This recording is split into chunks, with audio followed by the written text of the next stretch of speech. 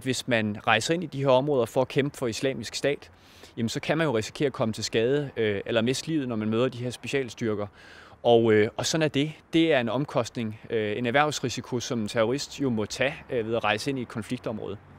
værterne faktisk ikke at sige noget. Okay. Og det er lige så bare den der kirkelyd, der kører, og så Ja, ja, meget klart. de fleste journalister var meget på overarbejde. Ja. Sindssygt flot øh, billedligt positivt indtryk af. Da jeg var en nyvalgt folketingsmedlem, der Ja. var jeg på Gråsten Slot. Nå. Øh, fordi det er borgmesterne og folketingsmedlemmerne dernede en gang imellem.